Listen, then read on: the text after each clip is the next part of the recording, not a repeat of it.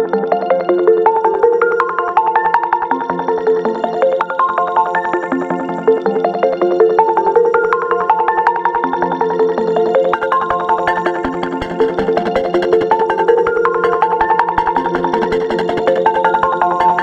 mengucap Bismillahirrahmanirrahim, Jalan Tol Kayu Agung Palembang, Keramasan, saya resmikan pagi hari ini.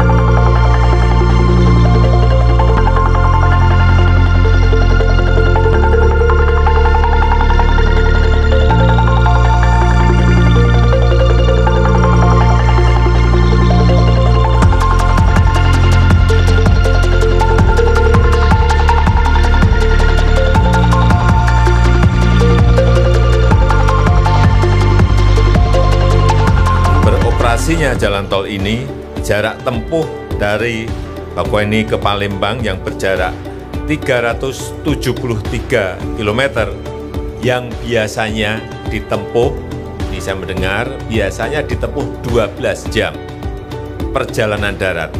Sekarang hanya perlu waktu 3 sampai tiga setengah jam. Ya seneng lah, syukur alhamdulillah ada kemajuan kan. Yang jelas kan mau ke mana-mana enak. Kalau lewat bawah, kalau saya mau ke lintas timur dua jam. Sekarang Sekarang satu jam. satu jam ya. Iya, satu jam nyampe udah sampai rumah ke lintas timur daerah Teluk Gelam.